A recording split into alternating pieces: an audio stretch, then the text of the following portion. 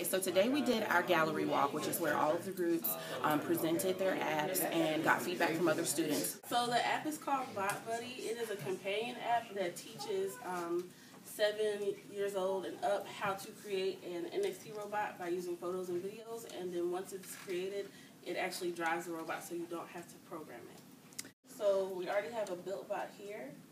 Um, and it connects, the phone connects with the bot through.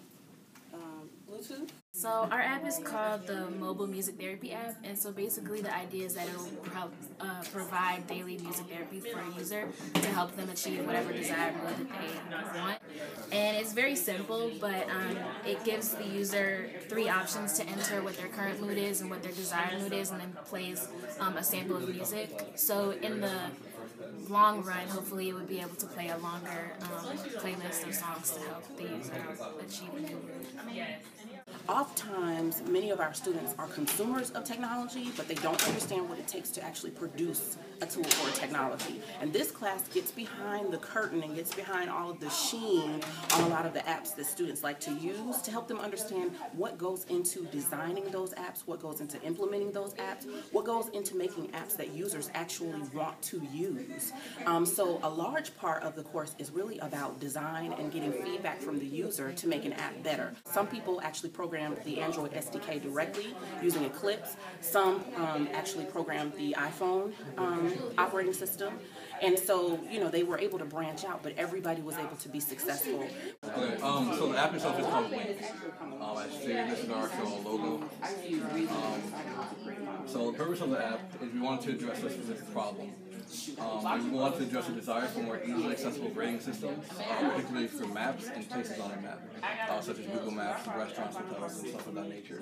Um, the key point of ours is that we use emotions actually to rate on a scale from basically a link, which would be the highest, to uh, smiley faces. Um, a stale face is just not emotion, uh, anger, and as well sadness. Uh, well, kind of had um, first idea to use because you know emoticons are like really popular now within texting. I Kind of had that idea rather than just you know the simple form of you know using stars to rate things because it's, it's really arbitrary and vague to see how you really feel about something. And so to you know like John said to quantify, you kind of just came together and John added on to some things and then we had the the designer is here kind of make the faces. And then Courtney had his marketing scheme and strategies as well. And so we kind of just worked together uh, after, you know, the first idea was you know, created, our vision. What surprised me most was the, the enthusiasm. I mean, I thought that there would be some enthusiasm, but I just didn't think it would be this much enthusiasm. Um, the ideas were really lofty, um, very complex, very complicated, and the students stuck with it to make sure that, you know, the apps did what they wanted to do and had the kind of functionality that they wanted them to have. And we also in this class talked about ethics too, um, in the use of technology, in the development of technology. We explored a lot of those um, around technology and its place in the world today. And so they, they began thinking a lot about that in the terms of the decisions that they were making in their designs, which I also thought was really, really powerful. Okay, so our app is entitled the um, Alzheimer's Mobile Therapy Application, also known as the F Project. And it's basically supposed to um, be a uh, tool for non-professional caregivers of Alzheimer's patients to help them get more advice about the disease. Um, I started this research last summer because my grandmother, she passed away from Alzheimer's last summer. And so I was like, okay, why not make a mobile application that can um, that can help caregivers because I saw how my family was struggling. When we were doing the user testing, we figured out that um, we not only need a web version, but we'll also need a text version because not all um, caregivers have internet have internet access where they are. So we'll do the text version, and then you have three three different categories. What is Alzheimer's?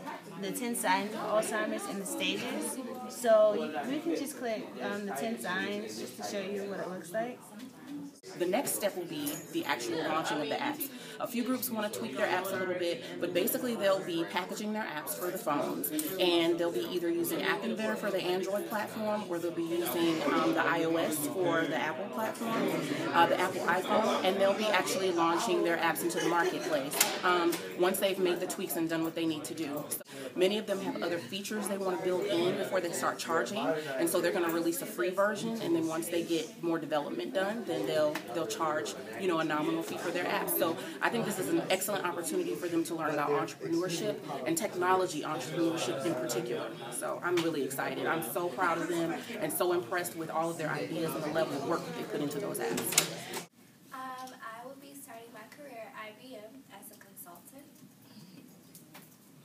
Um, I'll be working with JP Morgan in New York as an application developer. And I'll be working with Boeing in their IT rotational program, working on infrastructure, application development, and information security.